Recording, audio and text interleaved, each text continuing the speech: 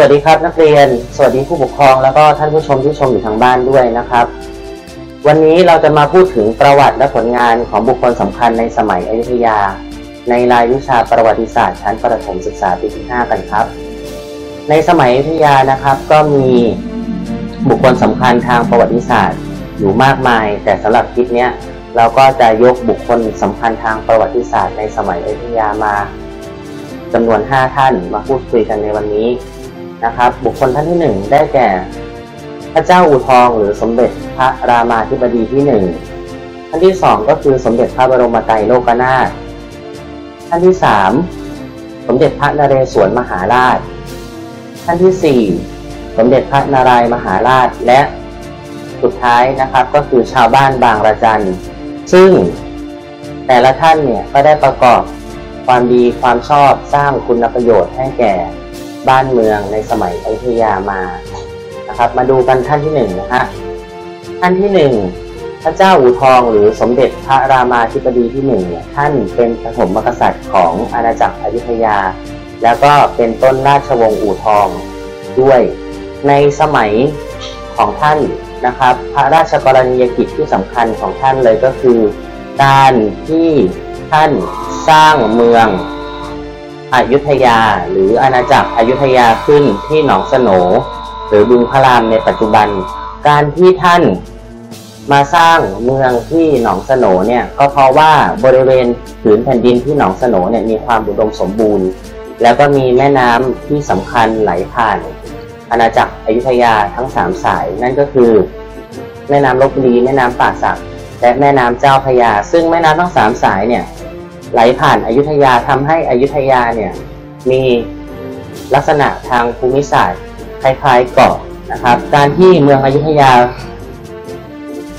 มีลักษณะคล้ายเกาะเนี่ยก็จะทำให้การคมนาคมติดต่อค้าขายกับอาณาจักรใกล้เคียงหรือภูมิภาคอื่นๆเนี่ยเป็นไปได้อย่างสะดวกสองก็คือผืนแผ่นดินที่อยู่บริเวณหนองสโหนเนี่ย มีความอุดมสมบูรณ์มาก เพราะว่าเป็นดินตะกอนจากที่เกิดขึ้นจากการทับถม การพัดพาเศษดินนะครับทับถมมาเป็นแผ่นดินเนี่ยทำให้มีแร่ธาตุอุดมสมบูรณ์ เหมาะแก่การเพาะปลูกเลี้ยงสัตว์ แล้วก็ที่สำคัญก็คืออาณาจักรอยุธยาเนี่ยมีป้อมปราการทางธรรมชาติ เพราะว่าก่อนที่จะ เข้าในตัวเมืองได้เนี่ยก็ต้องข้ามแม่น้ำมานะครับทำให้อาณาจักรอยุธยาเนี่ยมีความปลอดภัยสามารถป้องกันการลุกลามจากข้าศึกได้ดีนะครับ นี่ก็คือพระราชกรณียกิจที่สำคัญของพระเจ้าอู่ทอง หรือสมเด็จพระรามาธิบดีที่หนึ่งพระมหากษัตริย์พระองค์ต่อมาครับ นั่นก็คือสมเด็จพระบรมไตรโลกนาถ สมเด็จพระบรมไตรโลกนาถนั้นเป็นพระมหากษัตริย์รัชกาลที่ 8 แห่งอาณาจักรอยุธยา ท่านอยู่ในราชวงศ์สุพรรณภูมิ พระราชกรณียกิจที่สำคัญของท่าน ก็คือการปฏิรูป การเมืองการปกครองรวมไปถึงการบริหารราชการแผ่นดิน โดยรวบรวมอำนาจการปกครองส่วนกลาง มาไว้ที่พระมหากษัตริย์ทำให้พระมหากษัตริย์ มีอำนาจสูงสุดในการปกครองอาณาจักรอยุธยานะครับ เหมือนกับภาพตัวอย่างนะครับนักเรียน ที่คุณครูได้กล่าวไปแล้วในคลิปก่อนๆนนะครับ ว่าการเมืองการปกครองในสมัยอยุธยาไม่ว่าจะเป็นตอนต้นตอนต้น ตอนกลางหรือตอนปลายเนี่ยเขาจะแบ่งชั้นหัวเมืองออกตามลำดับความสำคัญ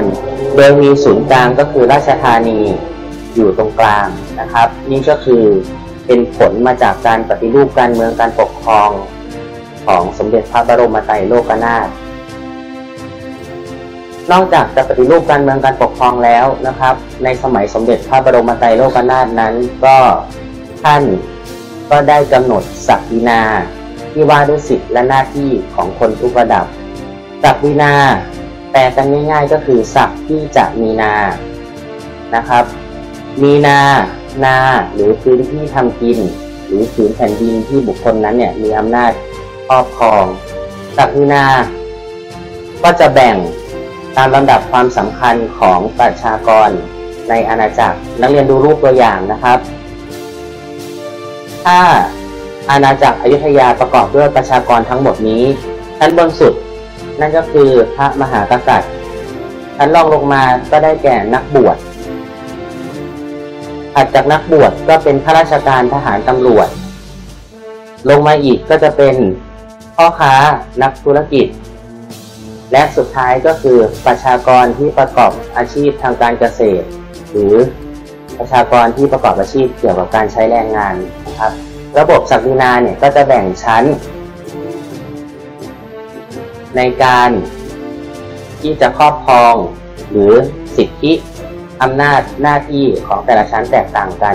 ชั้นบนสุดแน่นอนก็ต้องเป็นพระมหากษัตริย์รองลงมาก็คือ นักบวชรองลงมาก็คือข้าราชการทหารตำรวจรองลงมาก็คือพ่อค้านักธุรกิจ และชั้นสุดท้าย ก็คือประชาชนที่ใช้แรงงานหรือประชาชนที่เป็นเกษตรกร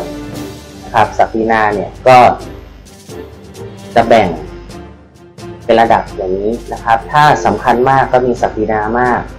แล้วก็ลดหลั่นกันลงไปตามลำดับความสำคัญนะครับ นี่ก็คือการปฏิรูปการเมืองการปกครอง แล้วก็การกำหนดศักดินาในสมัยสมเด็จพระบรมไตรโลกนาถต่อมาครับ ในสมัยของสมเด็จพระนเรศวรมหาราช สมเด็จพระนเรศวรมหาราชเป็นพระมหากษัตริย์รัชกาลที่ 18 แห่งอาณาจักรอยุธยาท่านอยู่ในราชวงศ์สุพรรณภูมิเช่นกันนะครับ พระราชกรณียกิจที่สำคัญของสมเด็จพระนเรศวรมหาราชเนี่ยหลาย ๆ ท่านหลายๆ คนนักเรียนหลายๆคนคงพอจะทราบมาแล้วบ้าง เพราะว่าพระราชกรณียกิจของท่านเนี่ยในสมัยปัจจุบันเนี่ยก็มาทำเป็นสื่อภาพยนตร์ก็มีนะครับทำเป็นละครก็มี ดังนั้นเนี่ยพระราชกรณียกิจที่สำคัญของท่านก็คือการปกป้องบ้านเมืองนะครับ หลังจากเสียกรุงครั้งที่หนึ่ง ท่านก็ได้กอบกู้เอกราช และก็ประกาศอิสรภาพจากพม่า หลังจากประกาศเอกราชแล้วเนี่ยท่านก็ได้ทำสงครามปกป้องบ้านเมืองมาโดยตลอด สงครามครั้งที่สำคัญที่สุด นั่นก็คือสงครามยุทธหัตถีนะครับสงครามยุทธหัตถี หมายความว่าการทำสงครามบนหลังช้าง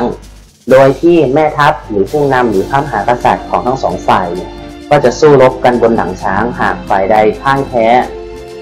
หรือเสียชีวิตก็จะทำให้กองทัพทั้งหมดพ่ายแพ้ไปด้วยนะครับ อย่างตัวภาพตัวอย่างที่คุณครูเอาขึ้นมาให้ดูนะครับนี่ก็คือการทำสงครามยุทธหัตถีนั่นเอง ต่อมาครับ ในสมัยของสมเด็จพระนารายมหาราช สมเด็จพระนารายมหาราชเป็นพระมหากษัตริย์รัชกาลที่ 27 ของอาณาจักรอยุธยา ในสมัยของท่านเศรษฐกิจของอยุธยานะครับ มีความเจริญรุ่งเรืองเป็นอย่างมาก เพราะว่าในสมัยของสมเด็จพระนารายมหาราชนั้น มีการติดต่อค้าขายกันในระหว่างอาณาจักรต่างๆ กับอาณาจักรอยุธยา หรืออาณาจักรอยุธยา กับภูมิภาคเอเชีย หรือเลยจากเอเชียไปอีกข้ามไปถึงภูมิภาคยุโรปเลยนะครับ ในสมัยของท่านเนี่ย อาณาจักรอยุธยาเนี่ยก็ได้ส่งราชทูตไปเข้าเฝ้าพระเจ้าหลุยที่ 14 ของประเทศฝรั่งเศส เพื่อทำการเจริญสัมพันธไมตรีและก็ติดต่อค้าขายกันในสมัยท่านนะครับ ต่อมาครับ นอกจากจะติดต่อค้าขายกับชาวต่างชาติแล้วในสมัยสมของสมเด็จพระนารายมหาราชเนี่ย ท่านได้ทรงพระกรุณาโปรดเกล้าให้เรียบเรียงแบบเรียนภาษาไทยขึ้นเป็นครั้งแรกนะครับ แบบเรียนนั้นชื่อว่ากินดามณีเป็นแบบเรียนแรกของไทยนะครับเป็นแบบเรียนภาษาไทย ครั้งแรกของชาติไทยก็เกิดขึ้นในสมัยของสมเด็จพระนารายณ์มหาราชด้วย ต่อมาครับบุคคลสำคัญเป็นท่านสุดท้ายสำหรับในคลิปนี้นั่นก็คือ ชาวบ้านบางระจันชาวบ้านบางระจันก็มีชื่อเสียงเป็นอย่างมากในทางประวัติศาสตร์นะครับ และในสมัยยุคสมัยปัจจุบันเนี่ยก็ได้มีการสร้างเรื่องราวของชาวบ้านบางระจันเนี่ยเป็นทั้งภาพยนตร์เป็นทั้งละครนักเรียนหลาย ๆ คนก็คงจะได้รับชมมาบ้างแล้ว ชาวบ้านบางระจันก็คือกลุ่มคน ที่หลบภัยสงครามของพม่าก่อนเสียกรุงศรีอยุธยาครั้งที่สองเนี่ยมาอยู่รวมกันที่บ้านบางระจันเมืองสิงห์บุรีนะครับ ในหมู่บ้านบางระจันเนี่ยก็จะประกอบไปด้วยผู้คนจากบ้านเมืองต่างๆ ที่หลบภัยสงคราม เข้ามาอยู่รวมกันในหมู่บ้านและสร้างเป็นกองกำลังปกป้องตนเอง โดยชาวบ้าน ชาวบ้านบางระจันเนี่ยมีชื่อเสียงมาก นะครับ ทั้งในพงศาวดารของทางฝั่งไทยและทางฝั่งพม่า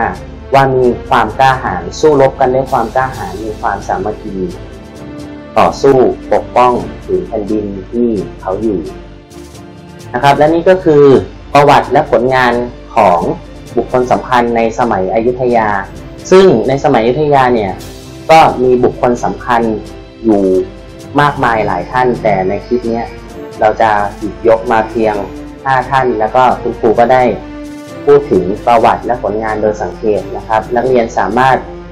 ไปค้นคว้าหาข้อมูลเพิ่มเติมได้ทั้งจากในแบบเรียนหรือในสื่อต่างๆนะครับ ในอินเทอร์เน็ตก็มีนะครับ ก็ให้นักเรียนไปศึกษาค้นคว้าหาเพิ่มเติม หาความรู้เพิ่มเติมนะครับ และในสัปดาห์นี้นะครับก็จะสั่ง งานไว้ให้นักเรียนทำเป็นคำถามพัฒนากระบวนการคิดมีอยู่ 4 ข้อ ให้นักเรียน ตอบคำถามลงในสมุด วิชาประวัติศาสตร์ เมื่อทำเสร็จแล้วให้นักเรียนถ่ายรูปและส่งมาในไลน์กลุ่ม ของห้องนักเรียน ส่วนสมุด เวลาเปิดเรียนแล้วเดี๋ยวคุณครูจะไปตรวจย้อนหลังให้นะครับสำหรับในสัปดาห์นี้ก็คงจะมีเพียงเท่านี้ นักเรียนที่ รับชมแล้วก็อย่าลืมคอมเมนต์ด้านล่างคลิป ให้คุณครูด้วยนะครับ เหมือนเดิมนะครับคอมเมนต์ชื่อนามสกุลชั้นเลขที่ไว้ด้านล่างคลิปให้คุณครูด้วยสำหรับท่านผู้ชมที่อยู่ทางบ้าน ถ้า เห็นว่าคลิปนี้เป็นประโยชน์ ก็อย่าลืมกดแชร์นะครับ กดไลค์กดแชร์แล้วกดติดตามให้คุณครูด้วยสำหรับในสัปดาห์นี้ก็คงจะมีเพียงเท่านี้แล้วพบกันใหม่สัปดาห์หน้าครับ